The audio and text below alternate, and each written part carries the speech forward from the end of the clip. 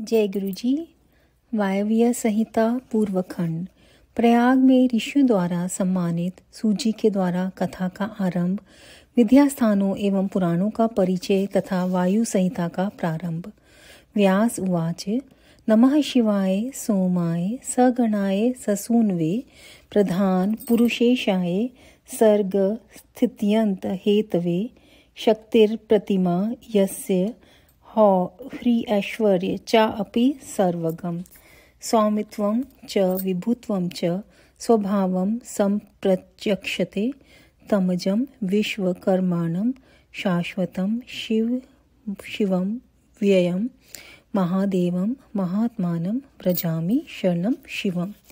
व्यास जी कहते हैं, जो जगत की सृष्टि, पालन और संहार के हेतु तथा प्रकृति और पुरुष के ईश्वर हैं उन प्रमथ गण पुत्र द्वय तथा उमा सहित भगवान शिव को नमस्कार है, जिनकी शक्ति की कहीं तुलना नहीं है, जिनका ऐश्वर्य सर्वत्र व्यापक है तथा स्वामित्व और विभुत्व जिनका स्वभाव कहा गया है, उन विश्व सृष्टा सनातन, अजन्मा, अविनाशी, महान देव मंगल में परमात्मा शिव की मैं शरण लेता हूँ।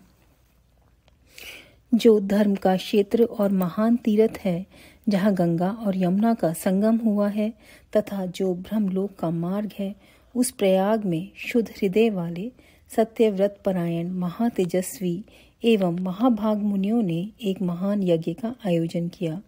वहाँ क्लेश रहित कर्म करने वाले उन महात्माओं के यज्ञ का समाचार सुनकर निपुण कथावाचक त्रिकाल वेता उत्तम नीति के ज्ञाता तथा क्रांतदर्शी विद्वान पौराणिक शिरोमणि सूत जी उस स्थान पर आए।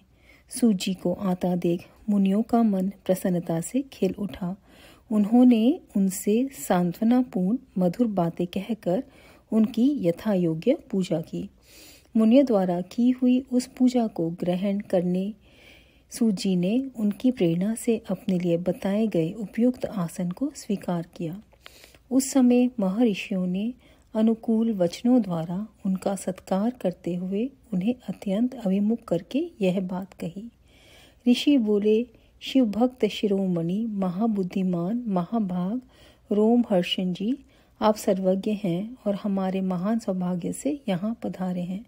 तीनों लोकों में ऐसी कोई बात नहीं है जो आपको विदित ना हो। आप भाग्यवश हमें दर्शन देने के लिए स्वयं यहाँ आ गए हैं। अतः अब हमारा कोई कल्याण किए बिना आपको यहाँ से व्यर्थ नहीं जाना चाहिए। इसलिए आप हमें शीघ्र वह पवित्र पुराण सुनाएँ, जो अत्यंत श्रवणीय, उत्तम कथा और ज्ञान से युक्त तथा वेदांत के सार सर्वस्व से संपन्न हो। वेदवादी मुनियों ने जब इस प्रकार प्रार्थना की, तब सूजी ने मधुर न्याय युक्त एवं शुभ वचनों में उन्हें इस प्रकार उत्तर दिया। सूत जी ने कहा, महर्षियों, आपने मेरा सत्कार किया और मुझ पर कृपा की है।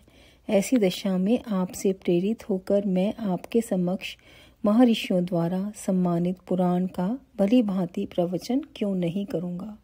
अब मैं महादेव जी, देवी पार्वती, कुमार स्कंद, गणेश जी, नंदी तथा सत्यवती कुमार साक्षात भगवान व्यास को प्रणाम करके उस परम पवित्र वेद तुल्य पुराण की कथा कहूँगा, जो शिव तत्व के ज्ञान का सागर है।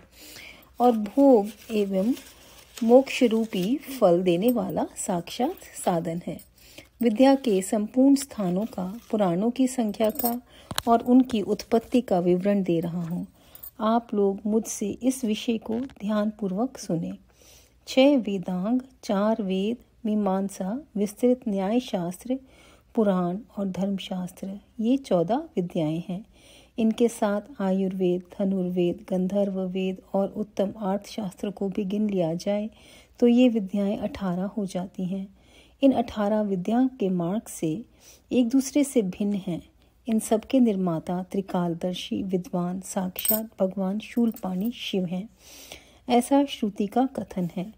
संपूर्ण जगत के स्वामी उन भगवान शिव को जब समस्त संसार की सृष्टि करने की इच्छा हुई, तब उन्होंने सबसे पहले अपने सनातन पुत्र साक्षात ब्रह्मा जी को उत्पन्न किया और अपने उन प्रथम पुत्र विश्वयोनि ब्रह्मा को परमेश्वर शिव ने जगत की सृष्टि का ज्ञान प्राप्त करने के पहले ये सब विद्याएँ दी। उसके बाद उन्होंने पालन करने के लिए भगवान श्री हरि को नियुक्त किया और उन्हें जगत की रक्षा के लिए शक्ति प्रदान की। वे भगवान विष्णु, ब्रह्मा जी के भी पालक हैं। ब्रह्मा जी विद्या प्राप्त करके जब प्रजा की सृष्टि के विस्तार कार्य में लगे, तब उन्होंने संपूर्ण शास्त्रों में पहले पुराण को ही स्मरण किया और उन्हीं को वे प्रकाश में लाए। पुराणों के प्रकट होने के अनंतर उनके चार मुखों से चारों वेदों का प्रादुर्भाव हुआ। फिर उन्हीं के मुख से संपूर्ण शास्त्रों की प्रवृत्ति हुई। द्वापर में भगवान श्री हरि सत्यवती के गर्भ से उसी तरह प्रकट हुए, जैसे अरणी से आग प्रकट होती है। उस समय उनका नाम श्री कृष्ण द्वैपायन हुआ।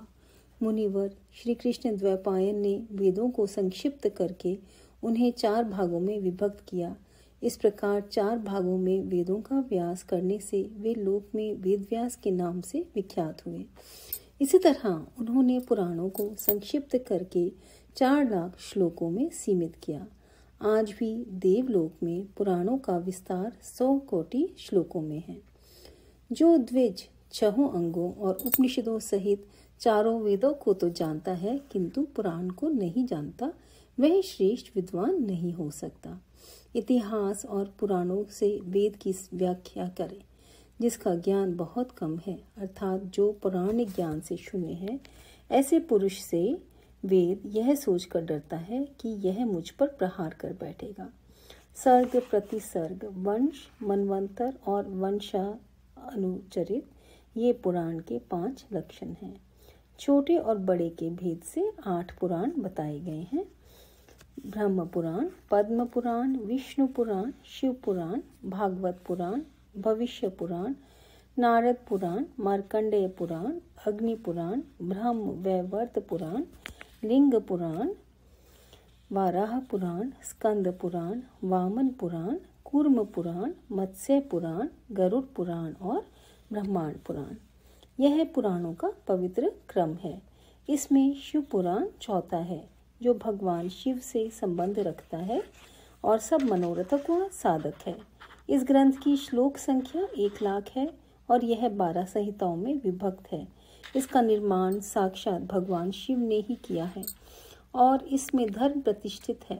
वेद व्यास ने इस एक लाख श्लोक वाले शिव पुराण को संक्षिप्त करके चौबीस हज़ार श्लोकों का कर दिया है।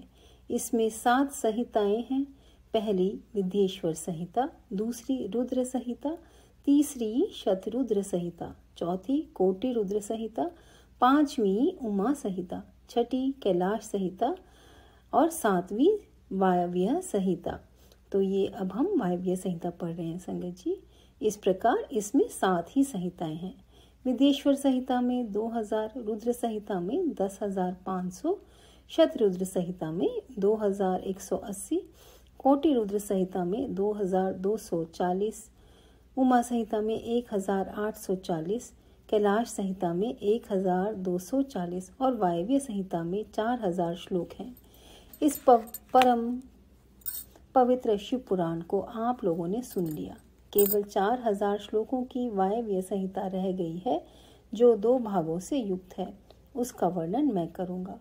जो वेदों का विद्वान ना हो, उससे इस उत्तम शास्त्र का वर्णन नहीं करना चाहिए। जो पुराणों को ना जानता हो और जिसकी पुराण पर श्रद्धा ना हो, उससे भी इसकी कथा नहीं कहनी चाहिए। जो भगवान शिव का भक्त हो, शिवोक्त धर्म का पालन करता हो और दोष दृष्टि से रहित हो, उस जांचे बुझे हुए धर्मात्मा शिष्य को ही इसका उपदेश देना चाहिए। जिनकी कृपा से मुझको पुराण संहिता का ज्ञान है, उन अमित तेजस्वी भगवान व्यास को नमस्कार है। तो यहाँ पर अध्याय, पहला अध्याय जो है वायव्य संहिता का, ये यहीं पर संपूर्ण होता है संगत जी। और यहाँ पर जैसे कि बताया गया है कि शिव पुराण, चौथा पुराण है और उसके सात संहिताएँ हैं और उसके अंदर अलग अलग श्लोकों का वर्णन किया गया है और हमें, हमारे गुरु जी ने शिव पुराण का पाठ करने के लिए प्रेरित किया है। और उन्होंने बोला है कि कलयुग में कर्म काटने का ये सबसे अच्छा साधन है। तो इसी तरह से हम कल अध्याय, दूसरा अध्याय पढ़ेंगे, वायव्य संहिता का। जय गुरु जी ओम नमः शिवाय शिव जी सदा सहाय। आप सबका बहुत बहुत शुक्राना।